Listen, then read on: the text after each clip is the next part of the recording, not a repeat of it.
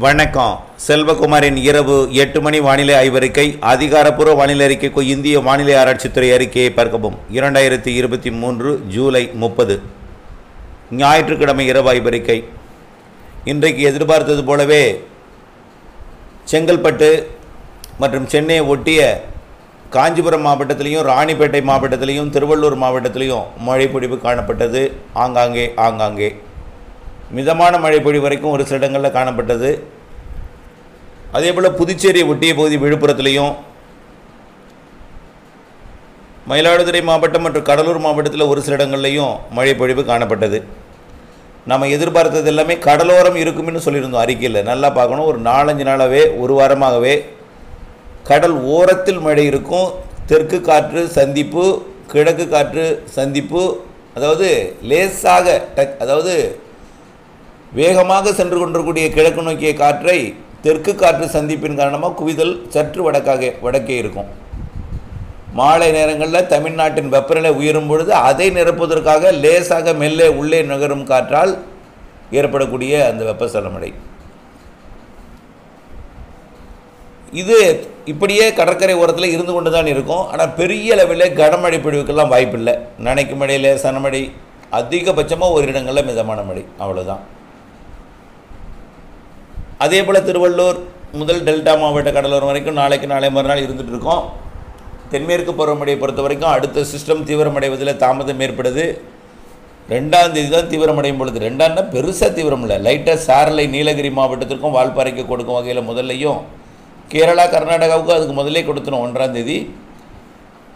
லேசான ஒரு சாரலை கொடுக்கும் வகையில் இந்த அளவிற்கு வெப்பம் இல்லாமல் சற்று இதமான காற்று இதமான ஒரு குளிர்ச்சியான சீதோஷ நிலை கொஞ்சம் குளிர்ச்சியாக இவ்வளோ வெப்பம் அனல் காற்று இல்லாமல் கொஞ்சம் குளிர்ச்சியான சீதோஷ நிலையாக மாறும் ரெண்டாம் தேதியிலிருந்து. அதனால் தமிழ்நாட்டில் இன்னும் கொஞ்சம் கூடுதல் பரப்பில் வெப்பசல மழை பொழிவு கிடைக்கும்.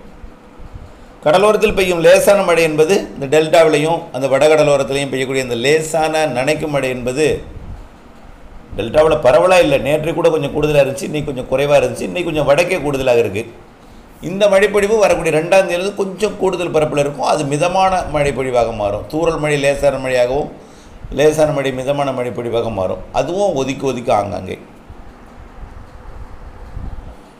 பசிபிக் பெருங்கடலில் நீடித்து கொண்டிருக்கக்கூடிய நிகழ்விற்கு தொடர்ந்து காற்று பயணித்து கொண்டே இருக்கும். இது எட்டாம் தேதி ஒன்பதாம் தேதி பத்தாம் தேதி வரைக்குமே பயணிக்கும் போல தான் தெரியுது.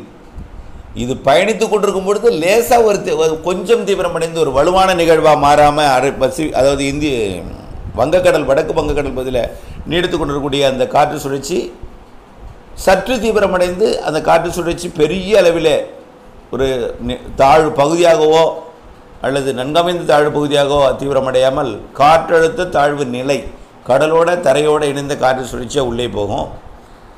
இருந்தாலும் ஒரு பத்து சதவீதம் காற்று தான் இதுக்குள்ளே போகும். இருந்தாலும் அந்த பத்து சதவீத காற்றே வெப்பசலன மழை போல் தென்மேற்கு பருவமழையை வட இந்தியாவில் கொடுக்கும்.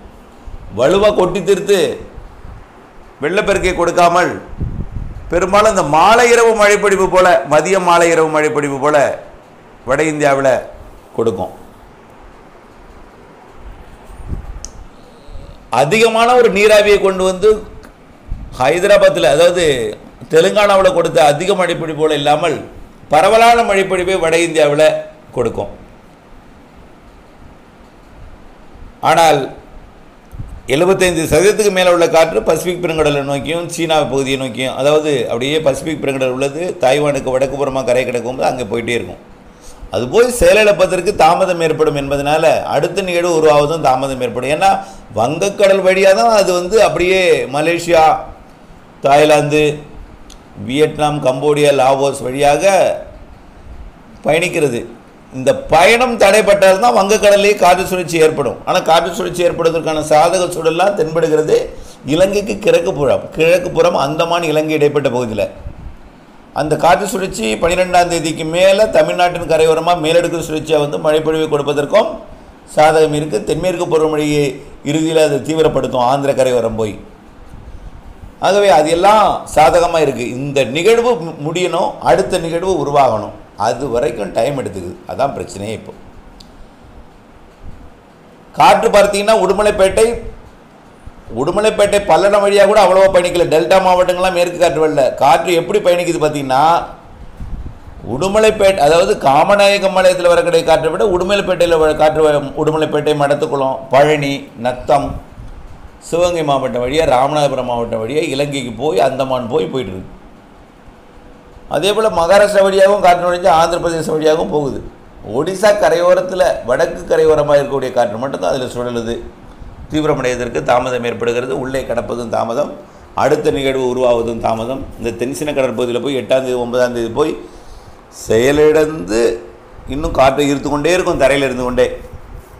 ஊஹான் இந்த பகுதியிலிருந்தெல்லாம் ஈர்த்து கொண்டே இருக்கும். சீன பகுதியில் கனமழை வெள்ளப்பெருக்கை கொடுத்து கொண்டே இங்கேருந்து காற்றை ஈர்த்து கொண்டே இருக்கும். அந்த நிகழ்வு அந்த ஈர்ப்பை விட விடணும். இங்கேருந்து காற்று அதாவது பெரும் அதாவது காற்று பசிபிக் பெருங்கடலேருந்து அது கிடைக்கல. இங்கேருந்து போகக்கூடிய காற்றை வச்சு தான் அது சுழற்சியே இருக்குது ஆகவே அந்த கா அந்த நிகழ்வானது செயலிழக்கணும் சீனாவில் போயும் தரைப்பகுதியில் போயும் ரெண்டு மூணு நாள் நீடிக்கும் போல இருக்குது அதனால தான் இந்த பிரச்சனை தாமதம். இருந்தாலும் தாமதம் ஏற்பட்டாலும் அடுத்த நிகழ்விலிருந்து ஆந்திர பிரதேசம்தான் ஆந்திர பிரதேசம் தெலுங்கானா தென்னிந்தியாவிற்கு தான் மழை பொழிவை கொடுக்கும். ஆகஸ்ட் பதினஞ்சுக்கு மேலே எல்லாம் பன்னெண்டுக்கு மேலே. அதில் எந்த மாற்றமும் இல்லை. தொடர்ந்து இன்னும் குழப்பமான நிலை விவசாயிகளில் நீடிக்குது. தயவுசெய்து குழம்பிக்கொள்ள வேண்டாம். களவு கவலைப்பட வேண்டியவங்க டெல்டா மக்கள் தான். இப்போ உடனடியாக தண்ணி கிடைக்கலையே. அதாவது காவிரி நீர்பிடிப்பு பகுதிகளில் பெய்த மழை சற்று குறைந்திருப்பது கவலை அளிக்க அவருக்கு வந்திருக்கு ஆனால் அதுக்கும் நம்ம சொல்லிகிட்டு இருக்கோம். கவலைப்படாதீங்க. அதுக்கும் தண்ணி கிடைக்கும். அடுத்தபடியாக இங்கே நீர்ப்பாசன ப பகுதி இல்லாத இடத்துலலாம் வானத்தை நம்பி விதைத்த இடத்துலலாம் கொஞ்சம் பெரிய பிரச்சனை இருக்குது ஆகவே அதற்கு மழை கிடைக்கலன்னு ஒரு ஏக்கம். அது கொஞ்சம் நனைக்கும் மழைகள் கிடைக்க வாய்ப்பு இருக்குது அதுதான் சொல்லலாம். அது ரெண்டாம் தேதிக்கு மேலே கொஞ்சம் கூடுதல் மழை பொழிவு நனைக்கும் மழைகள் கிடைக்கும். பரவலாக இல்லை ஒதுக்கி ஒதுக்கி. நல்ல மழைன்னா கண்டிப்பாக நூறு சதவீதம் உறுதியாக டெல்டா மக்களே கவலைப்படாதீங்க. பன்னெண்டாம் தேதிக்கு மேலே உங்களுக்கு காற்று சுழற்சி மழை பொழிவு டெல்டாவிற்கும் கிடைக்கும் தென்மேற்கு இப்போ தமிழ்நாட்டுக்கு கிடைக்கும். பன்னெண்டாம் தேதி வாக்கில் பதிமூணாம் தேதி வாக்கில் டெல்டா மாவட்டங்களுக்கும் கடலோர பகுதிகளுக்கும் முதல்ல காற்று சுழற்சி தொடங்கும்.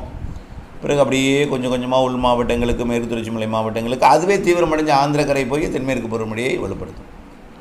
அதுதான் இப்பொழுது வரைக்கும் ஆய்வறிக்கையில் தென்படுகிறது. இதுதான் நம்முடைய நீண்டகால அறிக்கையிலையும் ஒரு பகுதியாக இருக்குது ஒரே ஒரு பிரச்சனை உருவாகக்கூடிய நிகழ்வு சீக்கிரமாக போகாமல் அடுத்த நிகழ்வு உருவாகிறதுக்கு தாமதப்படுத்தி கொண்டிருக்கு. அவ்வளவுதான். போயிட்டுனா நல்லாயிடும். செப்டம்பர் அக்டோபர் நாம் எதிர்பார்த்தது தான். அதில் எந்த மாற்றமும் இல்லை. வடகிழக்கு பருவமழை அதை விட சிறப்புங்க. வடகிழக்கு பருவமழை தான் இந்த வருஷம் நிறைய மழைப்பொழிவை கொடுக்கும். அதில் எந்த மாற்றமும் இல்லை. எல்னினோ பற்றி கவலைப்படாதீங்க. ஏங்க, எல்னினோ இருக்குன்னாங்க. எல்னினோன்னா எங்கள் பசிபிக் பெருங்கடலில் எல்னினோ இருக்கும் பொழுது ஆசிய பக்கம் புயலே உருவாகக்கூடாது. இப்போவே லேசாக எல்னினோ உருவாகி நல்லா வலுவாகிட்டு இருக்கு. இப்போவே பாருங்கள் என்ன அளவுக்கு சிஸ்டம் சீனா பக்கம் போயிட்டுருக்கு வலுவாக வலுவா? காற்று இங்கே இந்திய பெருங்கடலில் வெப்பம் அதிகமாக இருக்கிற காரணத்தினால தான் இங்கேருந்து காற்று போகுது. அப்போது எங்கே சாதகம் இருக்குது நம்முடைய கடற்பகுதி சாதகம் இருக்குது கண்டிப்பாக வடகிழக்கு பருவமழை நம்ம போ கடற்கரை வந்து நம்முடைய இவ வ- நிலநடுக்கோட்டை இந்திய பெருங்கடல் அரபிக்கடல் வங்கக்கடல் எல்லாமே வடகிழக்கு பருவமழை சாதகமாகும் சிறு நிகழ்வும் அதிக மழை பொழிவு நம்ம சொல்லிகிட்டு இருக்கோம். கண்டிப்பாக வலுவான நிகழ்வுக்கும் சாதகம். அது நவம்பர் டிசம்பர். வடகிழக்கு பருவமழை நவம்பர் டிசம்பர். அக்டோபர் மாதம் இருபதாம் தேதி வரைக்கும் தென்மேற்கு பருவமழை தொடரும். அதில் எந்த மாற்றமும் இல்லை. ஆகவே செப்டம்பர் அக்டோபர் அக்டோபர் மாதம் இருபதாம் தேதி வரைக்கும் நல்ல மழை இருக்குது தென்மேற்கு பருவமழை. கொஞ்சம் பொறுமை காப்பது மட்டும்தான் அவசியமாக இருக்கிறது. குழப்பிக்கொள்ளாது நிறைய கால் வந்துட்டு இருக்கு. குழப்பமான நிலை இன்றைக்கி நிறைய கால் அட்டன் பண்ணியிருக்கேன். தயவுசெய்து குழம்ப வேண்டாம். நன்றி.